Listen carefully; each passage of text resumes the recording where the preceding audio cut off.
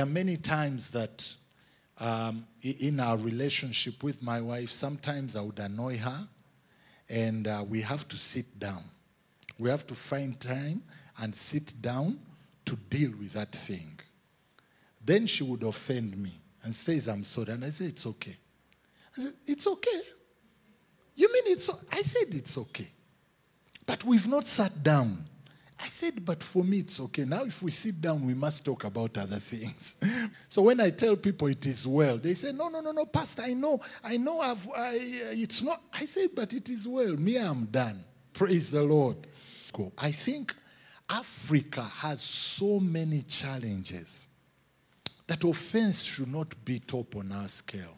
We have a generation to take care of. We still have mud in our streets. You go abroad and you enter your bedroom with your shoes. These shoes, if you keep them here in the office, by next Sunday, you have to polish.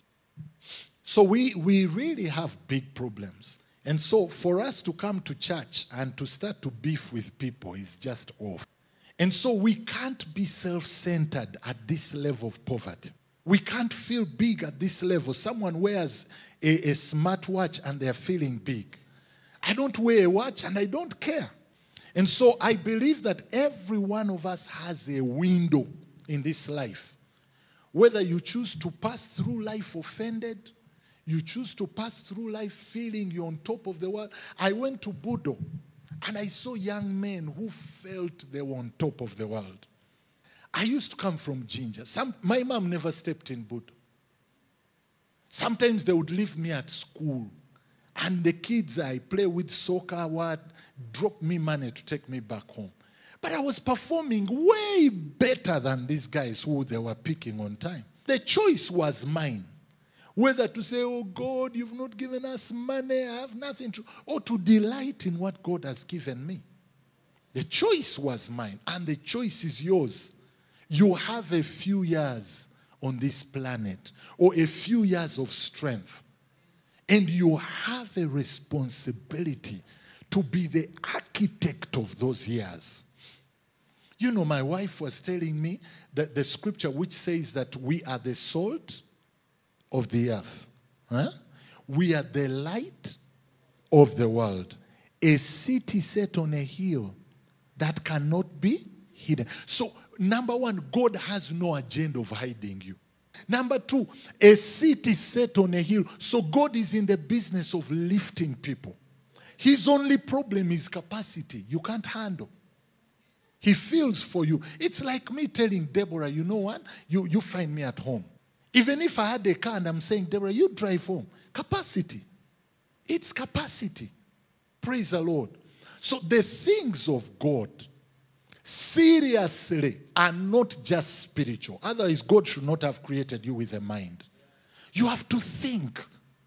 You, no wonder Jesus asked those people, but you guys look to the weather and you say it's fair weather. You look, it's red, it's going to rain. Why can't you tell the signs of the times? So you have 40 years, maybe you're 30. Maybe you're going to retire at 70, like the normal retiring, 70. So if you're 30 and going to retire at 70, how much time do you have? 40 years. That's all you have if you're 30. Now, abamuku 30, we've eaten off some. So we don't have time. And we have a destiny to fulfill. And our reward in heaven is based on that destiny. Ricky Joyner said when he had a vision of heaven, there were people who were in the in the third heaven up there, and there were people who were in the first heaven, like near earth. Basically, your life is just different that God is now in control, not President Museveni, but you're almost on the fringes in how you invest that time. So the Bible says in 2 Corinthians 5:17 that when a man is in Christ, he is a new by the way, it does not literally mean that you you are short, now you're tall. But, but it's, it's a, a, a, a figure of speech. It's like your whole world has been opened up. Do you know why believers build TVs and not universities? Do you know why big pastors in, in Africa build TVs and not universities? Because they never went to university, first and foremost. I'm sorry to say this, but it's what it is. It's not shameful, it's where we are. They don't see conquering the world in terms of science and innovation and ability. Every time these guys sing, I come and comment. Davis is in the background. But for him to get the sound to come out of here, it's a science that he operates. And that is God at work in Davis's life. And so when a man is in Christ, he's a new creature. Just think that there is no limit to what that young man can become. So your world is ahead of you. I don't believe that churches are supposed to be places which we just feel. No, no, no, no, no. Every man has to be accounted for. What do you dream about in a slight moment when you've forgotten your problem? And so the Bible says the old is gone. You need to face the new you. You need to face the possibilities that lie ahead. In you are leaders. In you are innovators. In you are managers. In you are great men and women. God never replicated himself into a failure. Because he says, in his image and likeness, he created you. Your whole world is ahead of you. So God didn't put us here to become entitled. God put us here to awaken to our true identity. Man, if there is anything I ever believe, just to prove a point that the world is under our feet. We need to rise. The Bible, someone said that there is a crown of glory over your head, and you need to rise tall enough to wear it. Praise the Lord. So when God, when God looks at us and looks at community, He looks at relationships that amplify potential. So God is a God of relationships. Thank God that you were born in a family, so you have blood relationships. I can see people building relationships, but you can see ono sagala wala eh, don't, don't go too far don't tell them your things but that relationship is a destiny breaker is a destiny connector it's a destiny connector and so we see in Genesis 3, I don't have time. In Genesis 4, when Cain brought an offering of the fruit of the ground, and Abel also brought a firstborn of the flock and their fat.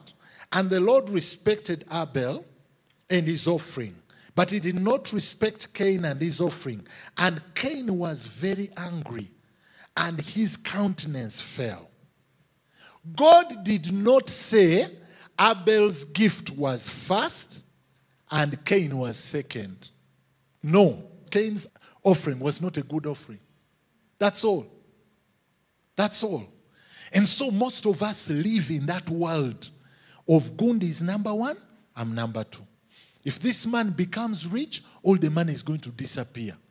I will not get. So Cain was offended. No wonder the Bible says, and the Lord comes to him and tells him, If you do well, if you do well, won't you be accepted?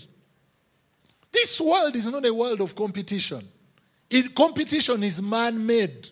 God created us all, all men as number one. No man is under the other. And when he gave us dominion, he never created us to rule over another. I am I'm your leader here, I'm a pastor, I'm not your ruler. You know, Pastor Michael is the most anointed man of God in House of Revival. And then also me, I come and try and, and enforce it. Huh? And start living in my own bubble. Every man was created number one. No man is made in the image of another. Everyone is created in the image of God. What I have access to, you have access to. What I don't know your, your big preachers. What TD Jakes has access to, you have access to. So this race is not a race against your peers. It's a race of destiny. It's a race of destiny. The opportunity I have in being here, my work, one of my callings is to challenge you to become the best that you can ever become and to provide a stepping stone.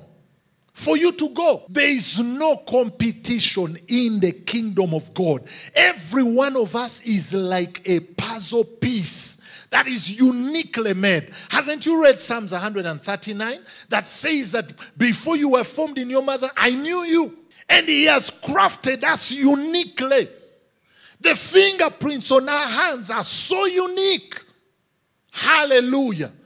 There is no competition. So you can turn to your neighbor and say, Don't create competition here. It is not there. Competition is a form of insecurity. God tells the end from the beginning, and then He comes and begins to pick you and places you there. Isaiah 46 10.